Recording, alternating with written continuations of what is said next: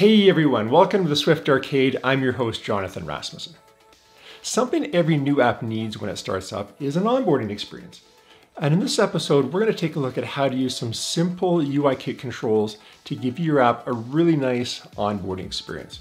So if this is something you think you need to do, come on in and we'll take a look and see how this can be done.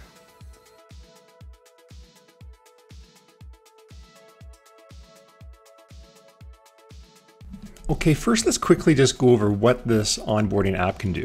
So what we have here in our app for our onboarding experience is something that's swipeable. We can swipe through these view controllers and notice how when we do, this little page control at the bottom also updates. We can also tap on this page control and it will jump at most one at a time backwards or forwards. We've also got some buttons here that we can hit where if we want to skip through the whole onboarding experience and just go to our login page, we can do that. And of course, if we want to hit next, we can also manually tap through by hitting the next button before we wrap around back to the beginning of our onboarding experience. So that's the demo of the onboarding experience. If you want to just jump in and check out the repo, feel free to go on to the link in the show notes, or you can find it here. But if you want to understand a little bit more about what's going on behind the scenes, stick with me and we'll dive into how the UI page view controller actually works.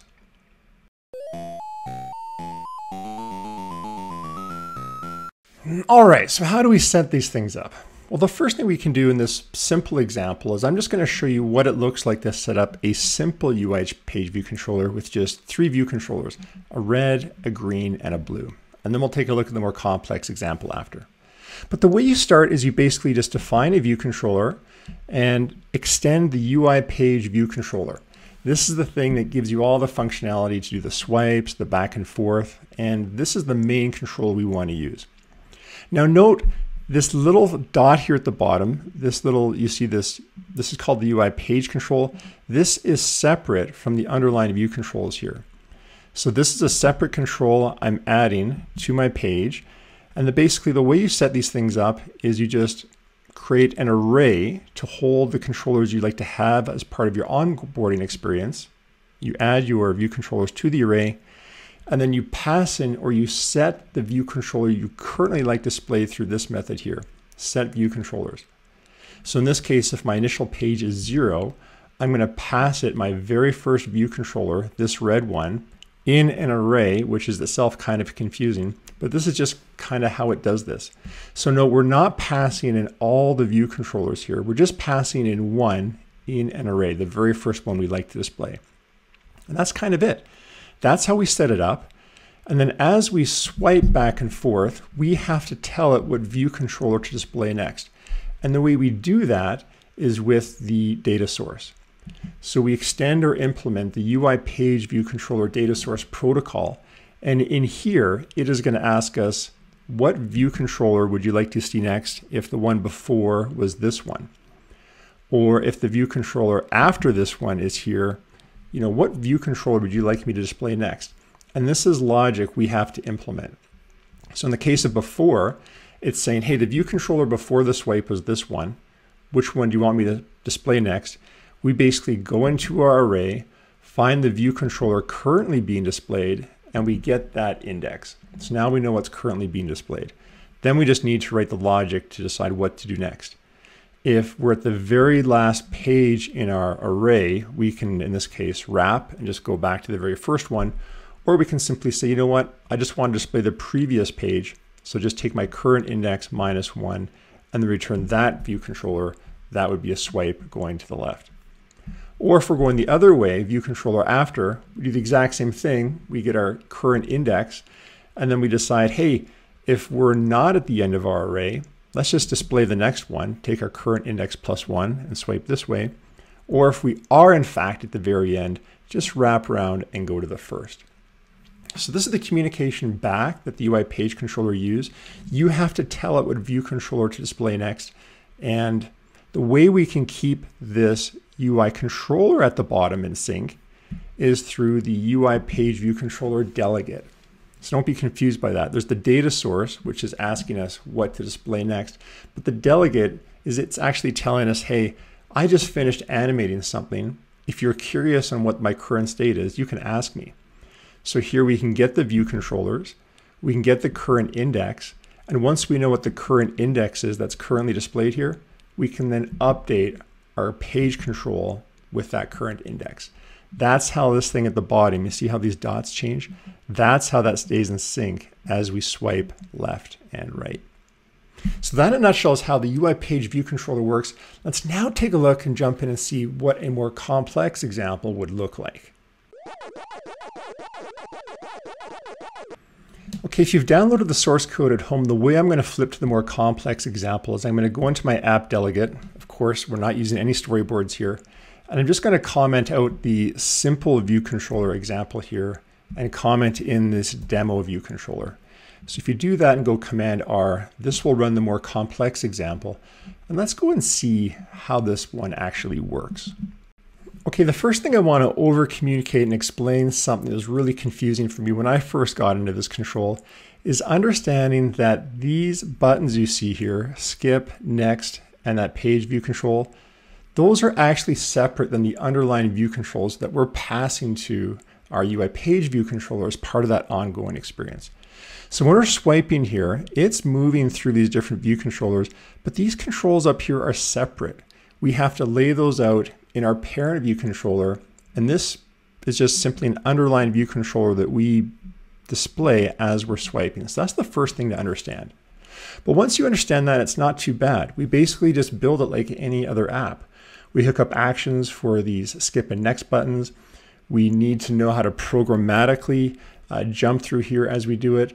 So let's, let's go through and just see what this would actually look like in code and how we would actually set this up.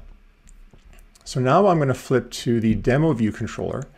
And this is just like our simple view controller in that we have a very you know, simple, um, we're going to extend our UI page view controller here. And we're doing the exact same thing we did before. We're going to create some pages.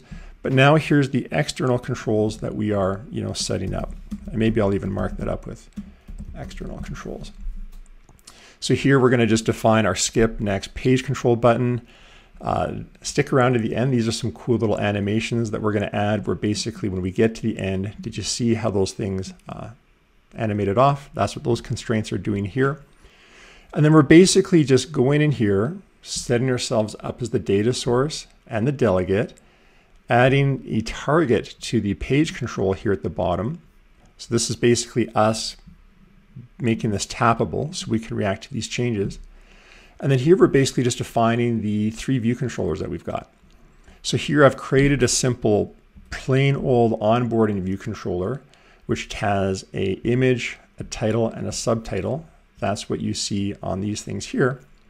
And then basically just by passing in some text, I can reuse this code and reuse this layout multiple times, and I don't have to create it over and over again. That's what's that's all that's going on with this onboarding here.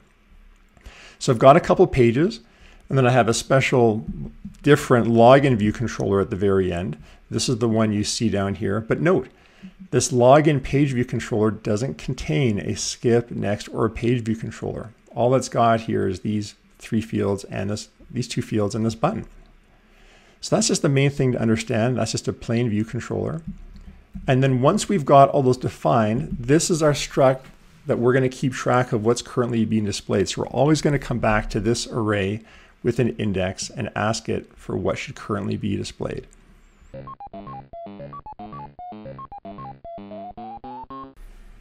And then the majority of your time in terms of building these onboarding experiences is just figuring out what view to display next.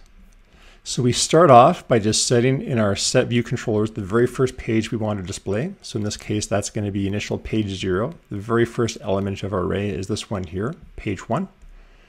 And then basically we've already registered ourselves as the data source.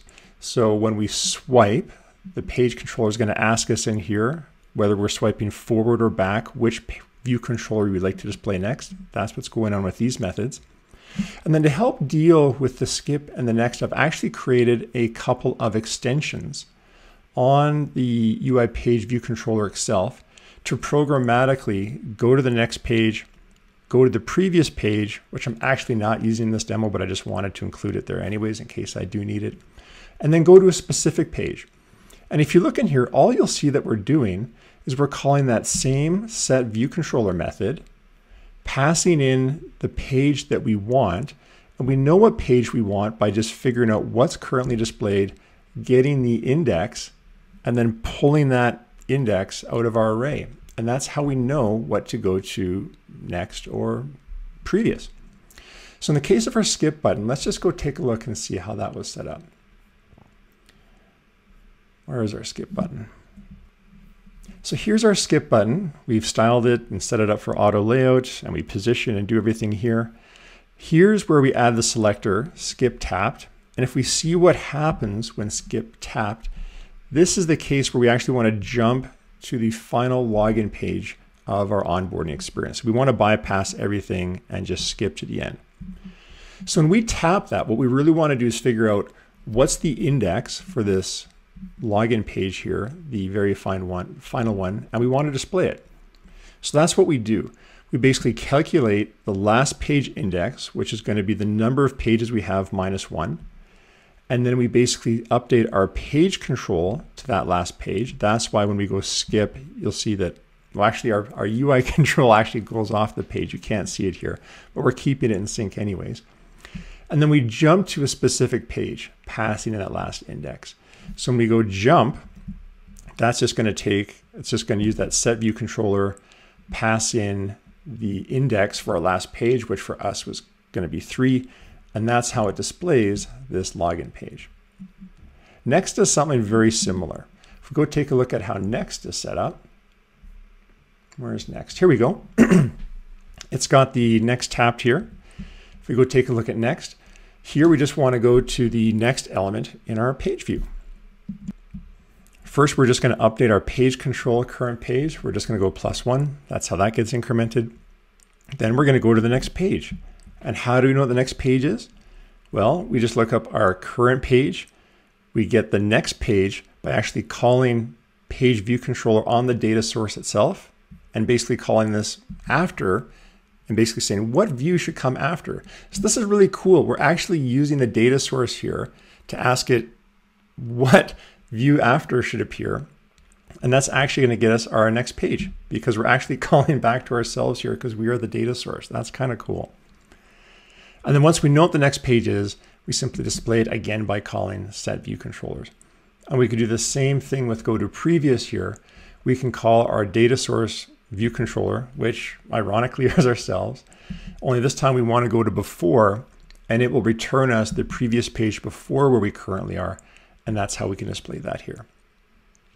So that in a nutshell is how these things are hooked up. That's how our UI controller updates itself. We can go to specific pages. Next, let's take a look and I want to show you this really cool animation that makes these things actually disappear.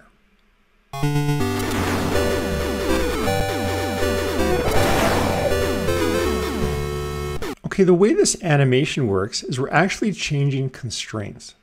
What we do is we grab the constraint for the skip, next, and page view control auto layout constraint here.